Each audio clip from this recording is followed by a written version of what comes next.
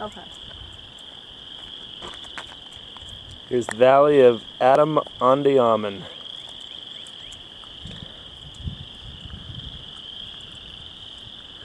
In Missouri, it's about 70 miles north of Independence, which is about uh, 20 miles east of Kansas City.